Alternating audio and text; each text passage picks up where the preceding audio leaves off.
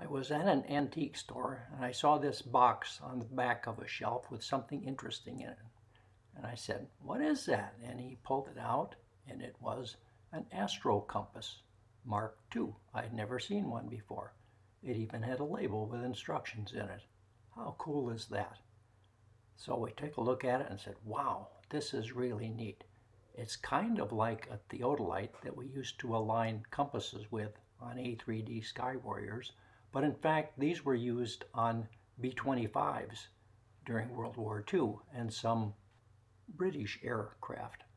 It has to mount on a sort of a cylinder, which it didn't come with, so I used these table legs, took the uh, feet off of them to make the base for this compass to hold it up on a display stand.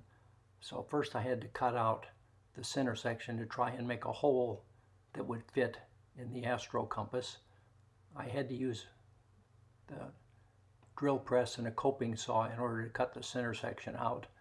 Then I sanded it out so it was round and would slide over the mounting part of the compass. Then I had to cut some edges off so it would fit. Then I started taking it apart to get it down to its constituent parts so that I could try and fix the paint damage as best I could.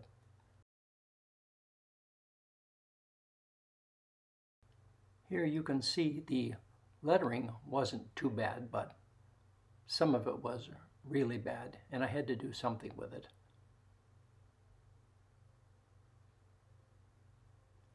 The plastic part and the lettering on it was very good, and all I really had to do with that is clean it up. As it turns out, the north side is the worst in terms of paint damage, and of course that's the part that would normally face you when you mount it in the front of an aircraft. And that's the part I would like to get as good as possible in terms of fixing the paint job. So I had to struggle with that quite a bit. So I used a little wire wheel and a sanding disc on a Dremel to take all of the paint off of it. The lettering seemed to be pretty good underneath, so I was hoping I could spray it with black paint and then somehow fill in the lettering with white.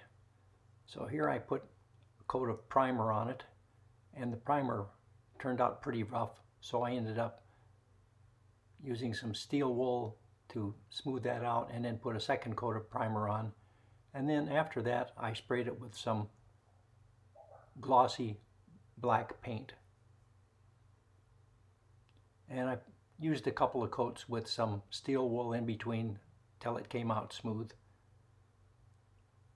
Then I used Crayola's white paint to try and fill in the letters. I had tried chalk, I had tried other even white out and everything just made it worse instead of better. So here it is all back together and almost ready for display. On the bottom, the wooden part is the one I had made out of the old table leg. And here it is next to my theodolite and my sextant. Well, that's it guys. Thanks for watching. I hope you enjoyed the video. Please like and subscribe if you haven't already done so. And here's a shameless plug for my book, which is available on Amazon and all of the ebook retailers and as a hard copy from lulu.com.